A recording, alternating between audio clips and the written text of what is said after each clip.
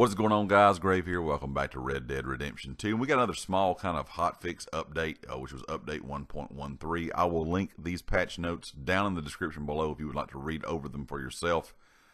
But this was posted yesterday on Rockstar's website on the 24th, and it says it was updated today on the 25th. So I'm not quite sure what was added to this today.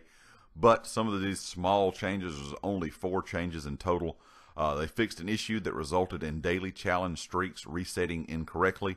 A lot of people last week, uh, on last uh, Tuesday or Wednesday, got their daily challenge streaks reset.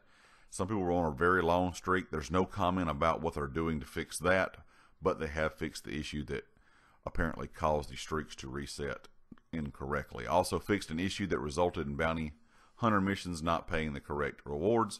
Various stability fixes, no detail on what those stability fixes are, and also various localization text fixes.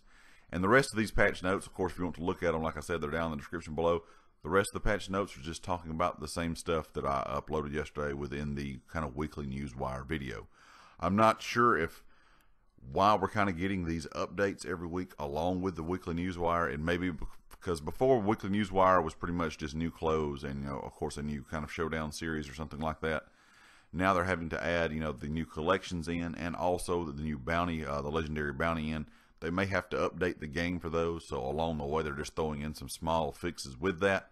But anyway, I just want to let you guys know what that update 1.13 was. Like I said, it's down in the description below if you would like to read it for yourself. And of course, guys, if you like the video, make sure you hit the like. If you have not subscribed yet, please do so. And make sure you click that bell icon up in the top right corner so you know when all my videos go live. And I'll catch you guys next time. Peace.